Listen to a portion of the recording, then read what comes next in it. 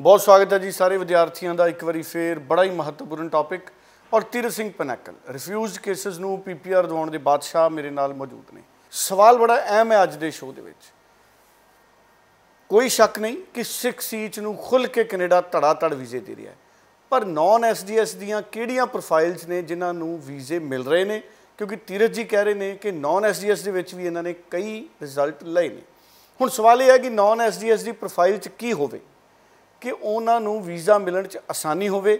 ਔਰ ਤੀਰਜ ਜੀ ਦਾ ਤਜਰਬਾ ਕੀ ਹੈ? ਬਹੁਤ ਸਾਰੇ ਇਹਨਾਂ ਕੋ ਰਿਫਿਊਜ਼ਡ ਗਏ ਨਾਨ ਮੈਡਿਕ ਨਾਨ ਐਸਡੀਐਸ ਵਾਲੇ ਔਰ ਇਹਨਾਂ ਨੇ ਵੀਜ਼ਾ ਲੈ ਕੇ ਦੇਤਾ। ਇਹ ਪੁੱਛਾਂਗੇ ਕਿ ਅਜਿਹਾ ਕਿਵੇਂ ਹੋਇਆ। ਤੀਰਜ ਜੀ ਸਤਿ ਸ਼੍ਰੀ ਅਕਾਲ ਬਹੁਤ ਸਵਾਗਤ ਹੈ। ਥੈਂਕ ਯੂ ਸਰ ਦੇ ਪ੍ਰੋਗਰਾਮ ਦੇਖਦੇ ਸਾਰੇ ਦਰਸ਼ਕਾਂ ਨੂੰ। ਸਤਿ ਸ਼੍ਰੀ ਅਕਾਲ ਜੀ। ਕਿਹੜਾ ਜਾਦੂ ਤੀਰਜ ਜੀ ਮਾਰਿਆ ਫਾਈਲਾਂ ਨਾਨ ਐਸਡੀਐਸ ਚ ਰਿਫਿਊਜ਼ਲ ਸਟੂਡੈਂਟ ਤੁਹਾਡੇ ਕੋ ਆਇਆ ਕਈਆਂ ਦੇ ਤੁਸੀਂ ਰਿਜ਼ਲਟ ਹੀ ਲੈਤੇ। ਨਾਨ ਐਸਡੀਐਸ ਚ ਕਿਹੜੇ ਪ੍ਰੋਫਾਈਲ ਨੂੰ ਵੀਜ਼ਾ ਮਿਲ ਰਿਹਾ? ਤੇ ਸਰ ਮੈਂ ਅੱਜ ਇਹਨਾਂ ਦੱਸਣਾ ਚਾਹੂੰਗਾ ਤੇ ਮੈਂ ਕਹੂੰਗਾ ਕਿ ਬੱਚੇ ਵੀ ਵੀਡੀਓ ਦੇਖਣ ਤੇ ਮੇਰੇ ਕੰਸਲਟੈਂਟ ਭਰਾ ਉਹ ਵੀ ਇਹ ਵੀਡੀਓ ਜ਼ਰੂਰ ਦੇਖਣ, ਕਿਉਂਕਿ ਨਾ ਰੋਜ਼ ਸਿੱਖਣ ਨੂੰ ਮਿਲਦਾ ਤੇ ਬੜੀ ਮੈਂ ਤਾਂ ਕਹੂੰਗਾ ਕਿ ਮਿਹਨਤ ਤੋਂ ਬਾਅਦ ਇੱਕ ਚੀਜ਼ ਨਾ ਨਿਕਲ ਕੇ ਆਈ ਸਪੈਸ਼ਲੀ ਜਦੋਂ ਤੋਂ ਨਾ ਇੰਟਰਵਿਊ ਦੀਆਂ ਕਾਲਸ ਆਈਆਂ ਬੱਚਿਆਂ ਨੂੰ, ਕਿਉਂਕਿ ਮੇਰਾ ਹੀ ਇਸ ਮੰਚ ਤੇ ਕਹਿਣਾ ਵਾ ਕਿ ਯੈਸ ਬਹੁਤ ਜ਼ਿਆਦਾ ਘੱਟ ਸਕਸੈਸ ਰੇਟ ਹੈਗਾ ਨਾਨ ਐਸਡੀਐਸ ਦੀ ਫਾਈਲ ਪੀਟੀ ਦੇ ਜੇ ਮੈਂ ਗੱਲ ਕਰਦਾ ਇੱਕ ਤੋਂ ਸਾਡੇ ਪੈਂਦਾ ਬੜਾ ਫਾਈਨਲ ਆ ਮੈਂ ਬੱਚ, ਠੋਕ ਕੇ ਅੱਜ ਵੀ ਕਹਿੰਦਾ। ਨਾਨ ਐਸਡੀਐਸ ਪੀਟੀ ਵਾਲੇ ਬੱਚੇ ਜਿਹੜੇ ਵੀਜ਼ਾ ਘੱਟ ਭਾਵੇਂ ਲੈ ਰਹੇ, ਕਿੱਦਾਂ ਲੈ ਰਹੇ? ਕਿਉਂ? ਵਾਈ ਤੁੱਕਾ ਲੱਗ ਰਿਹਾ, ਕਿੱਦਾਂ ਲੱਗ ਰਿਹਾ? ਮੇਰਾ ਕਿਉਂ ਨਹੀਂ ਲੱਗਾ? ਉਹਦਾ ਕਿਉਂ ਲੱਗਾ? ਸੋ ਨਾ ਅਸੀਂ ਜਿੰਨੇ ਕਿ ਮੇਰੇ, ਕਿਉਂਕਿ ਵਾਹਿਗੁਰੂ ਦੀ ਬਲੇਸਿੰਗਸ ਆ, ਬਹੁਤ ਵੱਡਾ ਸਕਸੈਸ ਰੇਟ ਜਿਹੜਾ ਕੀ ਆ, ਬੱਚੇ ਸਾਡੇ ਤੇ ਟਰਸਟ ਕਰਦੇ ਆ, ਬਹੁਤ ਸਾਰੀਆਂ ਬੱਚੇ ਦੀ ਫਾਈਲਾਂ ਸੋ ਸਕਸੈਸ ਰੇਟ ਅੰਦਰੋਂ ਹੀ ਪਤਾ ਲੱਗ ਜਾਂਦਾ। ਸੋ ਆਇਸ ਤੇ ਤਾਂ ਬਰਕਤਾਂ ਵਾ।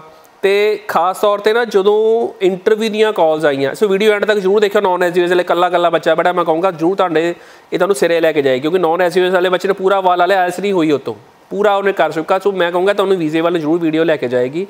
ਤੇ ਜਿਹੜਾ ਜਦੋਂ ਇੰਟਰਵਿਊ ਆਈ ਨਾ, ਚਾਰ ਚੀਜ਼ਾਂ ਪੁਆਇੰਟ ਸੋ ਅਸੀਂ ਵੀ ਵੀਡੀਓ ਲਾਈ ਸੀ ਕਿ ਇੰਟਰਵਿਊ ਹੁਣ ਕਿੱਦਾਂ ਕਲੀਅਰ ਕਰਨੀ ਆ।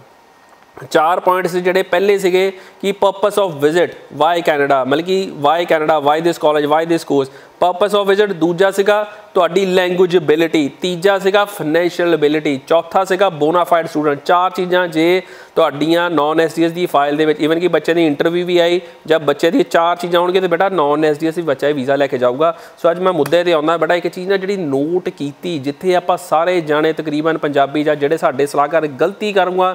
ਗਲਤੀ ਤਾਂ ਨਹੀਂ ਮੈਂ ਕਹੂੰਗਾ ਕਿ ਬੇਸਿਕਲੀ ਸਾਡੇ ਬੱਚਿਆਂ ਦੀ ਪ੍ਰੋਫਾਈਲ ਹੀ ਥੋੜੀ ਇਦਾਂ ਦੀ ਹੁੰਦੀ ਆ ਕਿ ਉਹ ਜਿਹੜੇ ਕਿ ਫਸਦੇ ਆ। ਸੋ ਮੈਂ ਉਹ ਗੱਲ ਕਰਦਾ, ਜਿਹੜੇ ਫਾਈਨੈਂਸ਼ੀਅਲਸ ਜਿਹੜੀ ਕਿ ਸਟੇਬਿਲਿਟੀ ਕਿਉਂਕਿ ਨਾ ਸਹੀ ਕਈ ਸਾਡੇ ਬੱਚੇ ਸੀਗੇ ਜਿਹੜੇ ਨਾ ਫੈਡਰਲ ਕੋਰਟ ਦੇ ਵਿੱਚ ਵੀ ਅਪੀਲ ਕੀਤੀ ਸੀ ਕਿ ਵਾਈ ਤੁਸੀਂ ਮੈਨੂੰ ਰਿਫਿਊਜ਼ ਕਿਉਂ ਕੀਤਾ? ਤੇ ਉਹ ਵੀ ਕੇਸਸ ਜਦੋਂ ਮੈਂ ਐਨਾਲਿਸਿਸ ਕੀਤੇ ਪ੍ਰੋਪਰ ਬੇਸਿਕਲੀ ਰਿਸਰਚ ਕੀਤੀ ਹੈ ਕੱਲੀ ਕੱਲੀ ਚੀਜ਼ ਤੇ, ਕੀ ਨਿਕਲ ਕੇ ਆਇਆ ਫਾਈਨੈਂਸ਼ੀਅਲਸ ਬੜਾ ਇੰਪੋਰਟੈਂਟ ਰੋਲ ਪਲੇ ਕਰਦੇ ਆ। ਤੇ ਬਟ ਹੁਣ ਇੱਥੇ ਹੀ ਬੱਚਿਆਂ ਨਾਲ ਸਵਾਲ ਹੋਣਾ, ਸਰ, ਅਸੀਂ ਤਾਂ ਲਾਏ ਸੀ 15 ਲੱਖ 20 ਲੱਖ 25 ਲੱਖ ਕਰੋੜ ਰੁਪਇਆ ਲਾਤਾ, ਪਰ ਮੈਂ ਕਹੂੰਗਾ, ਬੇਟਾ ਫਾਈਨੈਂਸ਼ੀਅਲਸ ਦੀ ਗੱਲ ਕਰੂੰਗਾ, ਤੁਹਾਡੀ ਸੀਏ ਰਿਪੋਰਟਾਂ ਦੀ ਗੱਲ ਨਹੀਂ ਕਰੂੰਗਾ, ਤੁਹਾਡੇ ਟਰੈਕਟਰ ਜ਼ਮੀਨ ਦੇ ਪੈਸਿਆਂ ਦੀ ਗੱਲ ਨਹੀਂ ਕਰੂੰਗਾ। ਇਸ ਵੇਲੇ ਮੇਰੇ ਤੋਂ ਸੇਵਿੰਗ ਕਿੰਨੀ, ਮੇਰੀਆਂ ਆਈਟੀਐਸ ਕਿੰਨੀਆਂ, ਬਹੁਤ ਜ਼ਿਆਦਾ ਇੰਪੋਰਟੈਂਟ ਰੋਲ ਪਲੇ ਕੀਤਾ ਤੇ ਨਾਲ ਦੀ ਨਾਲ ਅਸੀਂ ਵੀ ਬੱਚਿਆਂ ਨੂੰ ਗਾਈਡ ਕਰਦੇ, ਬੇਟਾ ਬੈਲੈਂਸ ਸਰਟੀਫਿਕੇਟ ਲਾ ਦੇ। ਬਟ ਇਹ ਚੀਜ਼ ਮੈਂ ਹੁਣੀ ਜਿਹੜੀ ਬੇਸਿਕ ਕਰ ਕੀਤੀ ਆ, ਬੇਟਾ ਸਟੇਟਮੈਂਟ ਬੈਂਕ ਦੀ ਫਾਈਨੈਂਸ਼ੀਅਲ ਸਟੇਟਮੈਂਟ ਪੁਰਾਣੀ ਮੈਟਰ ਕਰਦੀ ਆ, ਬੇਟਾ, ਇਸ ਚੀਜ਼ ਕਿ ਤੁਹਾਡੇ ਕੋਲ ਪੈਸੇ ਕਿੰਨੇ ਪੁਰਾਣੇ ਪਏ ਆ?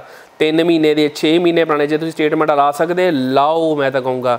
ਬਟ ਜ਼ਿਆਦਾਤਰ ਪ੍ਰੋਬਲਮ ਕੀ ਹੁੰਦੀ ਆ? ਇੰਨਾ ਪੈਸਾ ਖਰਚ ਕੇ 18 20 ਲੱਖ ਲਾ ਕੇ ਸਾਡੇ ਪੰਜਾਬੀ ਪੇਰੈਂਟਸ ਕੋਲ, ਬੱਚਿਆਂ ਕੋਲ ਜਿਹੜੀ ਕਿ ਇੰਨੀ ਸੇਵਿੰਗ ਨਹੀਂ ਬਚਦੀ ਤੇ ਉਹਨਾਂ ਬੱਚਿਆਂ ਨੂੰ ਕਹੂੰਗਾ ਤੇ ਬੇਟਾ ਜਰੂਰ ਤੁਸੀਂ ਮੈਂ ਤਾਂ ਕਹੂੰਗਾ ਫਿਰ ਆਲਸੀ ਕਰ ਲਓ, ਕਿਉਂਕਿ ਇਹ ਚੀਜ਼ ਅੱਜ ਮੈਂ ਸਟਰੋਂਗ ਪੁਆਇੰਟ ਮੈਂ ਕਹੂੰਗਾ ਜਿਹੜਾ ਬਹੁਤ ਬਰੀਕੀ ਦੇ ਵਿੱਚ ਆਇਆ ਕਿ ਬੈਂਕ ਦੀ ਸਟੇਟਮੈਂਟ ਯੈਸ ਮੈਂ ਵੀ ਕਹਿੰਦਾ ਸੀ ਲੋਡ ਨਹੀਂ ਹੈਗੀ ਬਟ ਫਿਰ ਵੀ ਮੈਂ ਹੁਣ ਨੋਟ ਡਾਊਨ ਕੀਤਾ ਕਿ ਵਾਏ, ਇਹੀ ਬੱਚੇ ਨਾਲ ਤੁੱਕਾ ਕਿਉਂ?